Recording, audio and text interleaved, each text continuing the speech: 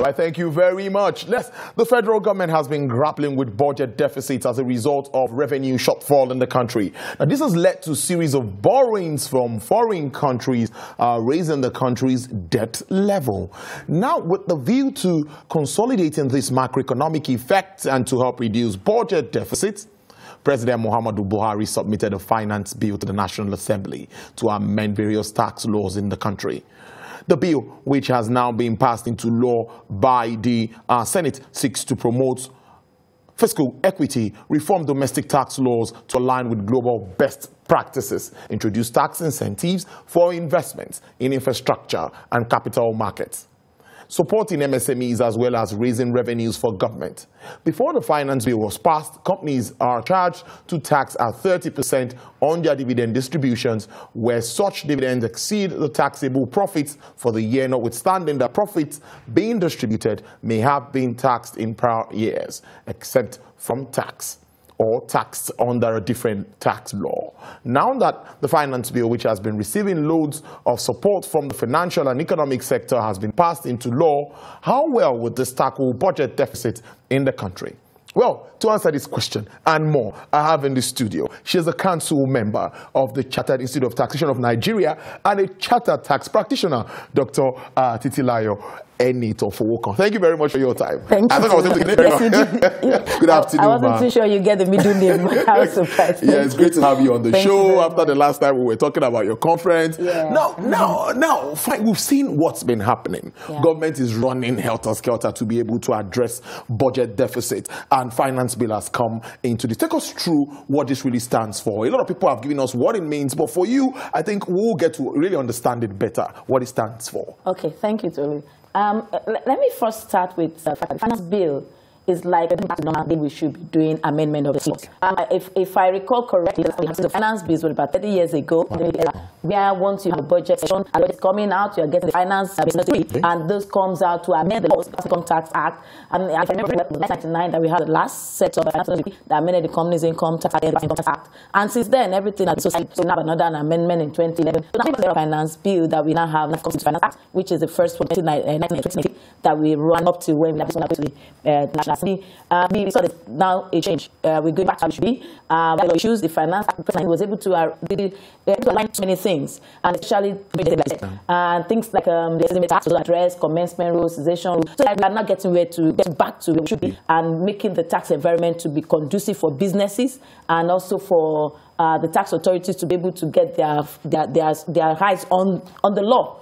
Uh, because um, whatever you talk about tax, you're not just talking about something that is hanging, it's based on a law. And if that law is not amended to face realities of today, then you're not going to be able to get the best of, of, of that. So that's what's really happening. We're going back to the era of out. Oh, you have a okay. finance bill That is addressing those amendments of law that will give us a budget. So you have the appropriation coming. Once the finance bill is made to the law, the budget comes out and it becomes like we are going to use for our expenditure and revenue. So the finance bill is supposed to go with that so that there can be an alignment in the expectation budget the tax revenue you expect going to fund. No, uh, I, I can't fund everything we, we- we're just moving out of the general culture of people wanting to say, what's in it for me? Why am I paying tax? But we, we just have to comply because there's a law.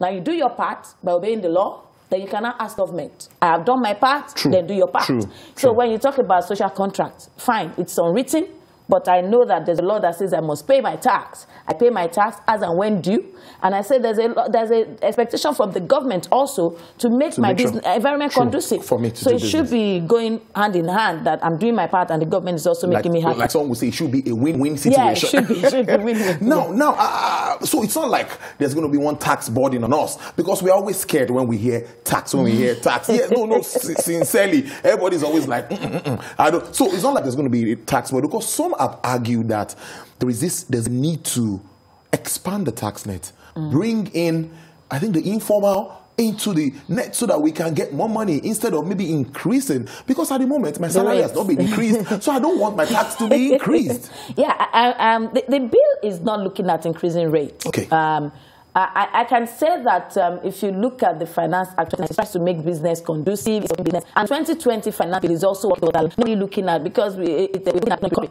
So when you start inputting money to people and the economy is not that balanced, you get money. But the new bill for 2020 is how we net?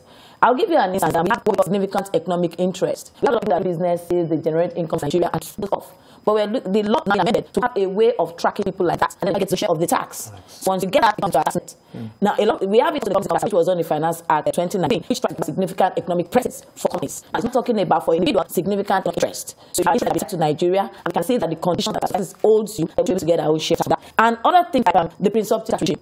Informal says 5% of it. How will we be able to get the tax net?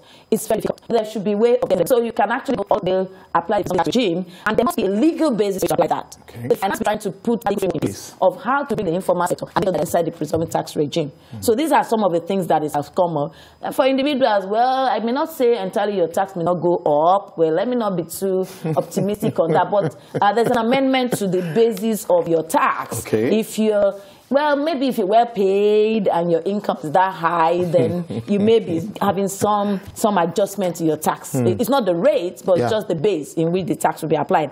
And that is redefinition of gross income for the purpose of consolidated relief allowance. Mm. So those are some of the highlights of what has come up. And things about stamp duty. Stamp duty, yeah. Finance Act 2019 brought in stamp duty. Now, everybody is now conscious of every agreement has to be stamped if it's stampable uh, if you have electronic agreements, electronic documents. So, so those are areas that government is seeking to see how they can deal with the revenue shortage and then see how the deficit can be addressed. And this is part of what the finance bill has put together.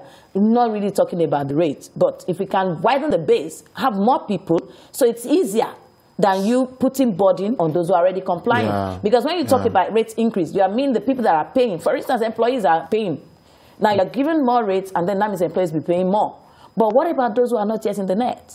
So what this finance bill is trying to do is to say, let's bring, let's cast our net wide, get more fishes into the net, and then let's start asking them to yeah, cough it out yeah. and cough out the tax. Uh, indeed. Uh, businesses for 25 billion and below will not be paying tax. I even heard the vice president also saying that earlier in the week. Then some between 25 million and 100 million, the bill also proposes to reduce taxation for them. So in all of this, I think the business interest is kind of being protected here.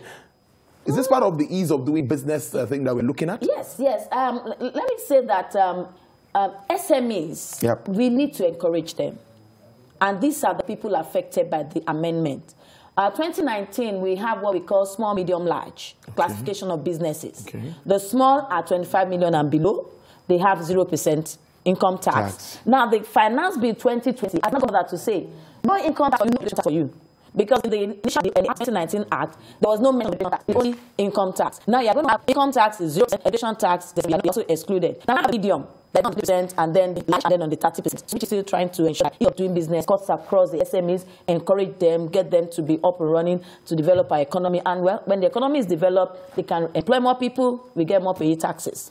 DG talked or touched on something before he went uh, left uh, first discussion, and uh, that came to me. We've always talked about tax to GDP ratio, saying Nigeria is not doing very well. We are, I think, six percent uh, around that, and we've been trying to move ahead uh, from that. And many always we, we always have projections, just like gas flaring. Next year we'll stop flaring gas. Next year we're going to move the GDP of our tax ratio to GDP. Why do we still over around this when countries around us are doing doing better. I hear Ghana is doing uh, approximately 18 to 20. I'm not, I'm not very sure, but I know the figure is better than what we are doing here. Now, I, I, when the issue about tax to GDP ratio, we kept on talking of 6%, 6%. I want us to know that um, our tax-paying culture in Nigeria is actually not mm, there. Mm, it's not there. True. Uh, what we are trying to do now is to start to encourage people to pay tax. A lot of people believe that, is it not Nigeria, you can go away. And a lot of things have to also do with the political will. Uh, you talk about Ghana. You, you, don't do some things in Ghana and go scot-free. Money is there and the government will ensure it's on. And some countries there, Rwanda, even Rwanda, tax offense, they deal with them. And some countries, you just know, you know it's dead now because mm. they, are with it. So it's a matter of, uh, we're trying to get our people to appreciate the fact that you fulfill your part, pay your tax, and then you don't go The excuse is, uh, why am I paying tax? Government, my roads are not fixed, I don't have light, there's no this, there's no that. And that's coming to the social contract I was talking about. So why don't you, first of all, do what the law says, Yeah. obey the law as True. a citizen, and then you can actually hold the government. Well, I, I used to refer to a way whereby you have your community development. How many of us have even started to hold our local government chairman? Uh, that's where we should start from. If I have a local government chairman that we voted in, and I pay tax, I local government chairman, how much tax have you paid? I paid my tax. Give me your tax card. Let's.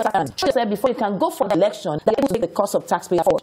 Uh, because the tax should be seen as not just for those who are paying, for even supporters. This is how we can address 60% GDP ratio. A lot of people not there yet. How do we bring them in? What the plan is to bring more people. But I would say that if we can bring more people, we bring them in, they're more consistency, and they must be that people to show leadership example. Mm. It's important because that encourage people to want, okay, I can see my leader this. I should not be a bad follower. Let me also like. I always tell the story of Lagos. Yes. A us- I'm living in an estate where I go through Lagos, giving estate. I was transparent. And I got to qualify because I have five year tax clearance. So that is giving encouragement that every state is able to say, look, Mm. people, we've done this. You, the condition is that you are paying your tax regularly. Everyone that wants to benefit from see transparency in this, they will want to be tax level. True. And I know people that God to do house assessments and to put that in their taxes because of the condition. So the six cents, uh, six six cent GDP to tax, tax to GDP ratio. Yes. For me, fine, it's low. We can do a lot to, to increase awareness. Encourage people to be more and show accountability and responsibility. So encourage people, okay, fine, I've done my part. Let me see what I can do more. And it's that synergy, then we put in.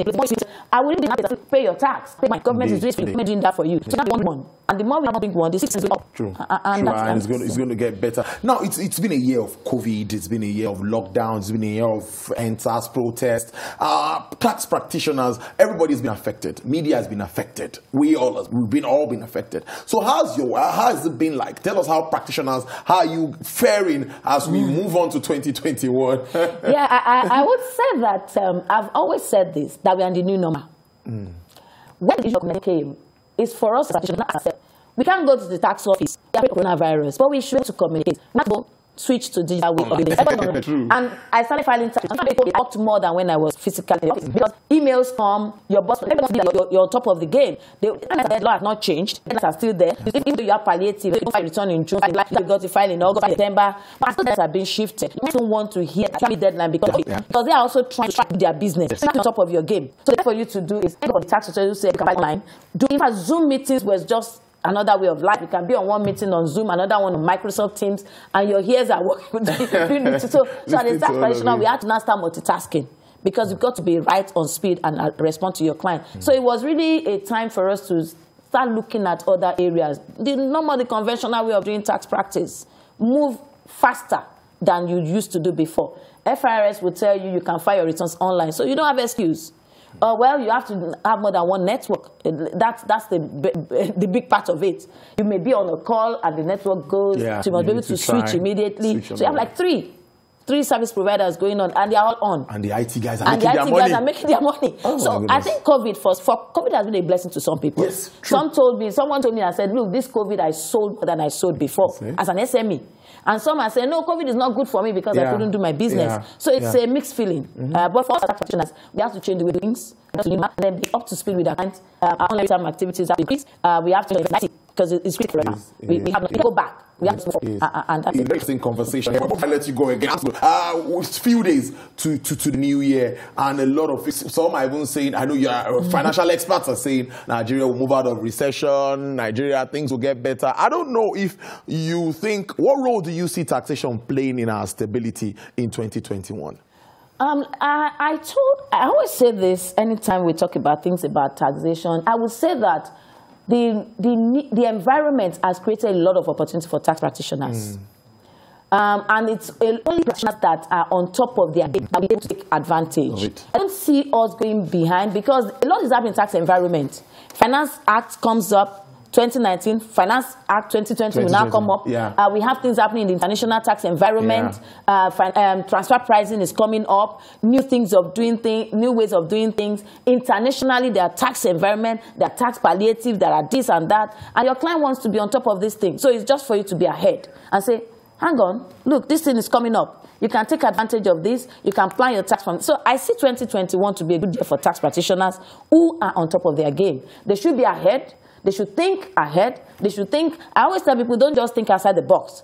Think beyond the box. Beyond the box. and then be able to be ahead of it. Indeed. Dr. Titilayo Enito Amos, thank you very much. She's a council member of the Nigeria, a chartered tax practitioner. I mean, from her. I don't need to tell you more. Um, but thanks so much for spending your afternoon. I really appreciate it. Thank you very thank you for your time. Man. Thank you. Yes,